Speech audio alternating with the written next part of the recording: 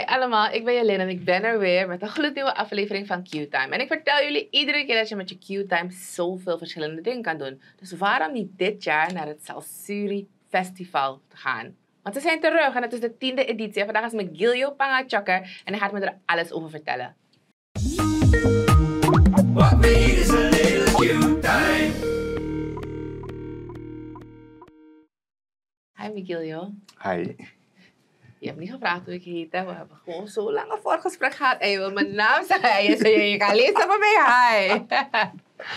maar ik ga je zeggen, ik ben Jelena. Jelena. Oké. Opnieuw beginnen.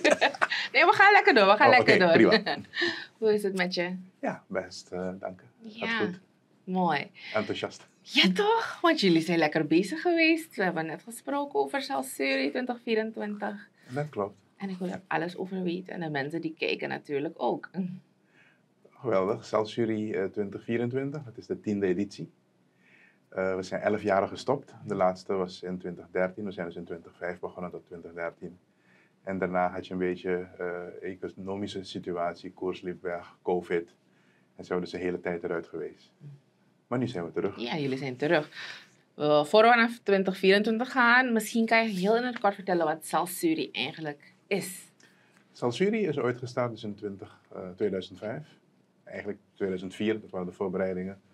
Toen woonde ik nog in Nederland en was ik dus heel veel aan het reizen naar eh, Latijns-Amerikaanse, of naar salsa festivals.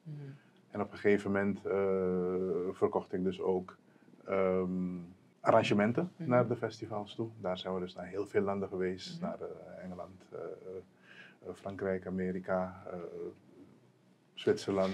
eh, You noem seen places, places. Binnen Europa Ja, zijn we naar heel aha. veel festivals gegaan. En toen kwam het idee van ja, maar waarom doen we niet een eigen festival in Suriname? Want dat bestaat er nog niet. En daar dus kwam de naam eh Salsuri van Salsa Suriname. Ah, En initieel zijn we dus begonnen met een Salsa en Soek eh, festival. Eh, tegenwoordig is bachata heel erg in, dus we hebben nu Mhm. Salsa en Bachata mhm. eh, festival, een kleine eh, transformatie. En we zijn in 2005 begonnen. Het was toen nog nieuw voor de mensen. Eh, iedereen was enthousiast. We zaten in het uitgaanscentrum. Mhm. En het was vanaf dag één eigenlijk eh, een succes. Was het knallen. Ehm, het is een festival dat totaal anders is van eh, andere festivals in Suriname. Mhm. In dat je dus een gedeelte hebt waarbij je eh, showperformances hebt on stage van een paar eh, hele eh, bekende eh, artiesten, dansartiesten in, in, in de wereld. Mhm.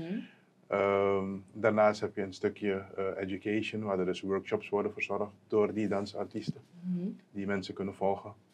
En je hebt het sociaal gedeelte met de feesten, waarbij je lekker kan gaan mingelen en ook kan dansen met diezelfde Natuurlijk, ja. artiesten. Dansen mag niet ontbreken. Precies. En het is ook anders, omdat we dus niet op één locatie zitten. We treffelen eigenlijk een beetje door Paramaribo. We hebben altijd een festivalhotel. Mhm. Daar worden de workshops verzorgd. Eh, de hele week van het festival, dat dus van 24 tot 27 oktober is dit jaar. Oké, want, we gaan, Ivan, want je gaat me alles vertellen. Je gaat zo Ik ga, je, snel. ik ga je alles vertellen, maar de bedoeling is dus, dus dat in die week we Festival Center in het hotel hebben waar we zitten. Oké. En dan kan je daar dus meer informatie halen. Je kan pasjes halen voor het hele festival. Je kan losse tickets halen. Everything you want to know about the festival. Dat is eigenlijk het concept van die hele week. Oké. En, Wacht, wacht, wacht. Nee, I'm gonna put a pin in it. I'm gonna put a pin in it. I'm putting my pin in it. Right. Wat- Waarbij, ehm, wat het eh Salsuri eigenlijk eh, inhield. En van in 2005 zijn jullie, een paar jaar hebben jullie edities gehad. Eigenlijk was het eerst salsa souk. Maar nu is bachata eigenlijk heel erg in. En jullie hebben gezegd, oké, het is 2024. We hebben in 2022 nog voor het laatst zoiets georganiseerd. Maar jullie zijn terug. Eh, ik zal nu bijna willen zeggen bigger than ever. Maar daarover gaan we later praten. En jullie hebben een hele week uitgezet.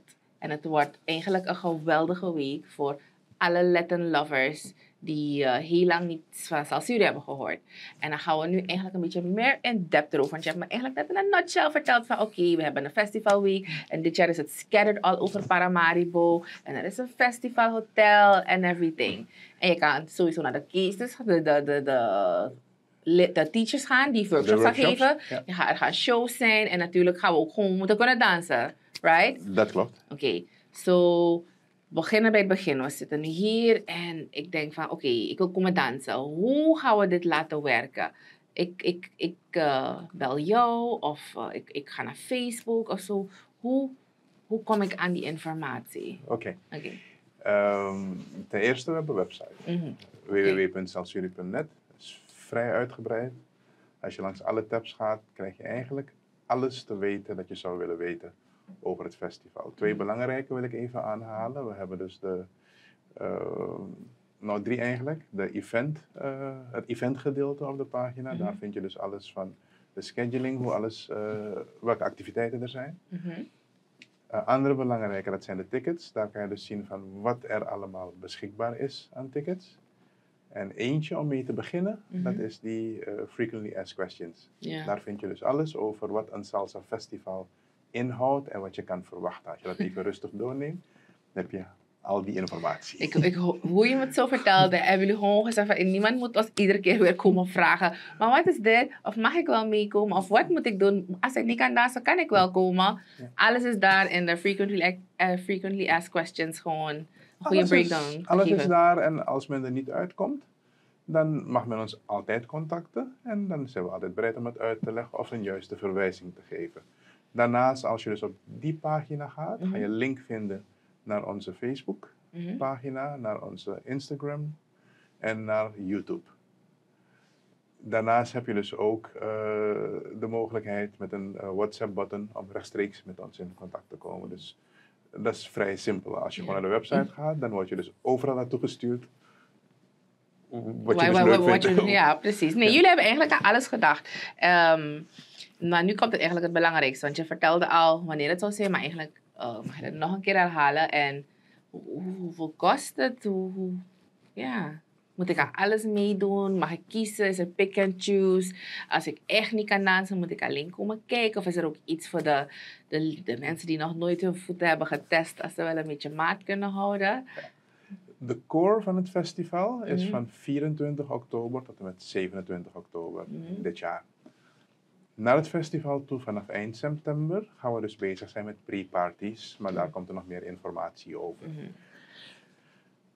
Tijdens het festival heb je dus eh, mensen die het gewoon leuk vinden om aan social activities mee te doen, die gaan naar de feesten.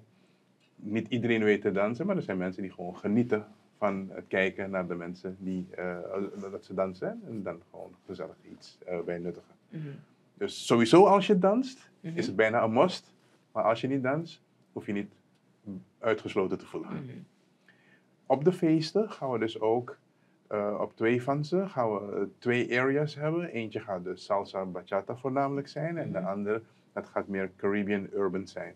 Dus eh, vind je het leuk om even te komen kijken en wil je weer naar iets anders waar je je meer comfortabel bij voelt? Ook die optie is er op twee van de dagen.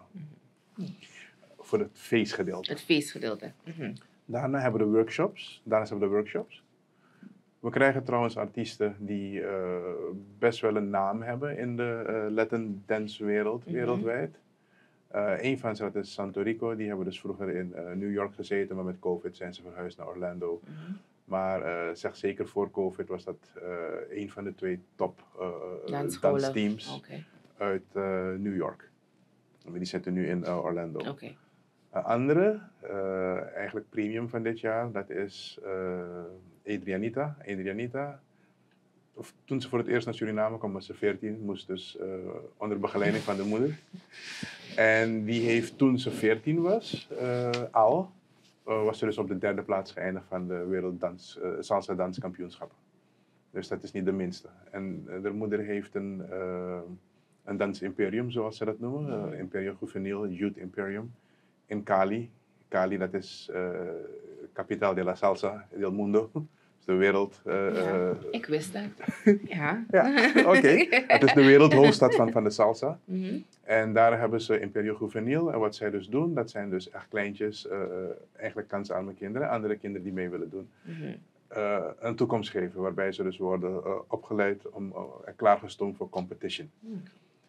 Afgelopen juni waren we in Medellin voor een Salsa Festival. En dat was eigenlijk een eye-opener. De Salsa Festivals zoals we die kennen vanuit Europa en eh, eh, Amerika, die hebben dus drie elementen. Mhm. workshops, feestavonden en shows. Mhm. Maar in Latijns-Amerika is er een ander component dat groter is dan alle drie bij elkaar.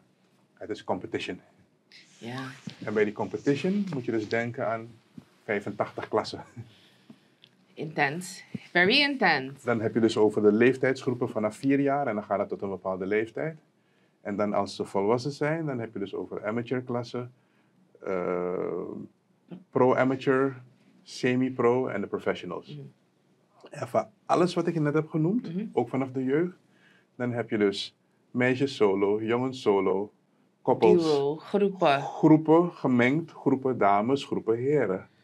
We hebben zelf in Medellin meegemaakt dat er een competition was tussen Down-syndroompjes van verschillende landen en verschillende dansscholen. Het is echt een social project. Very it's something- intense. Totally different.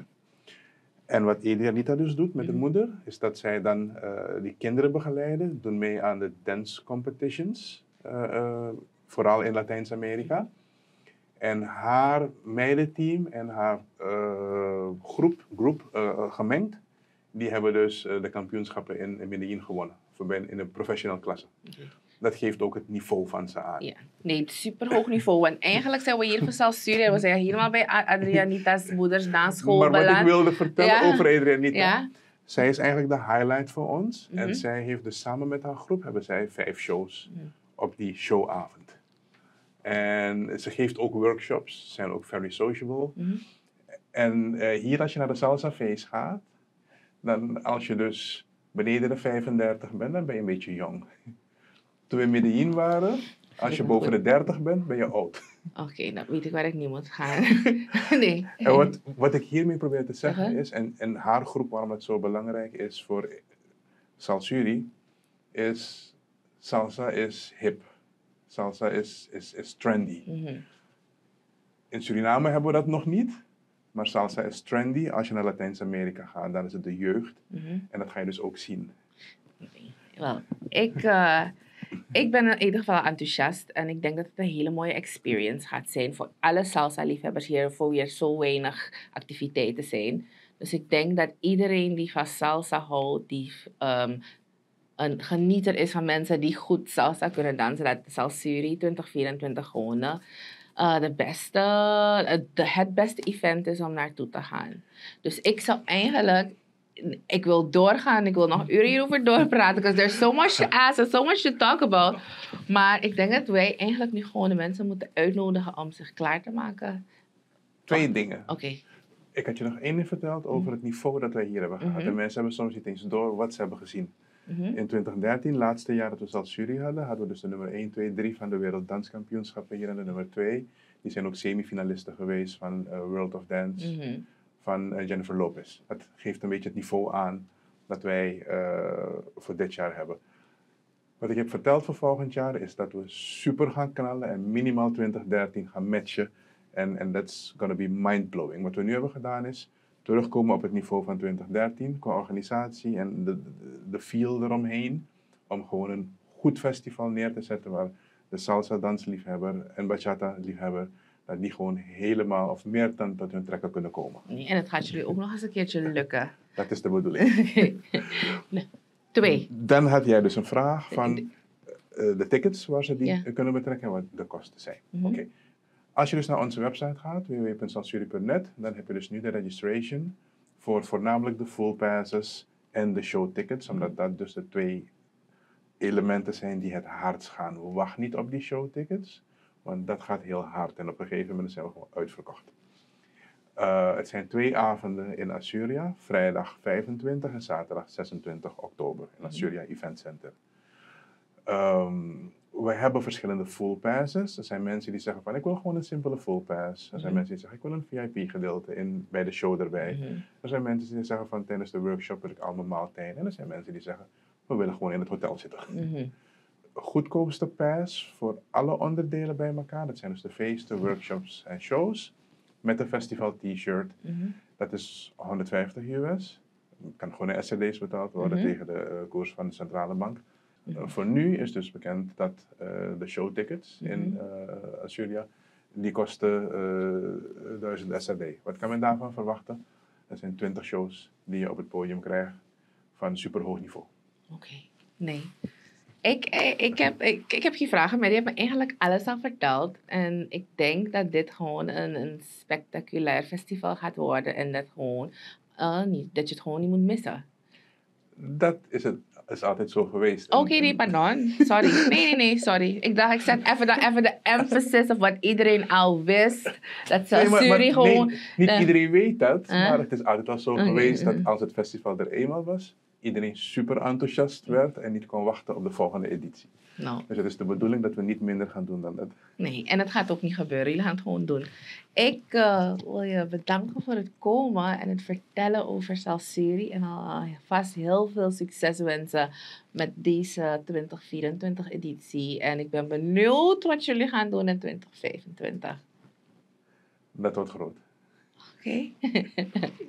Nogmaals bedankt voor het komen. Jullie ook bedankt voor het kijken. Vandaag was Miguelio Pangachok bij ons in de studio. En hij heeft ons verteld over Salsuri 2024. Ik zou het nog een keer voor jullie willen willen herhalen. Maar ik hoef het niet te doen, want zij hebben een geweldige website. Je gaat naar de website en daar staat alle informatie. Van de showcases, van de workshops, van de feestjes. Er is ook een poolparty. Daar heeft hij nog niets over verteld. Ik zou zeggen, ga snel naar de pagina.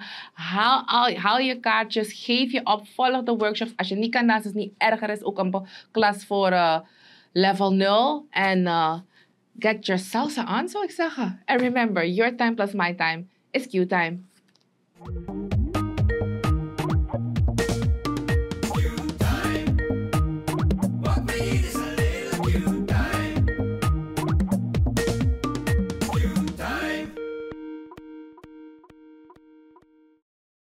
This is another Supreme production. Supreme TV. To entertain, to inform, to inspire.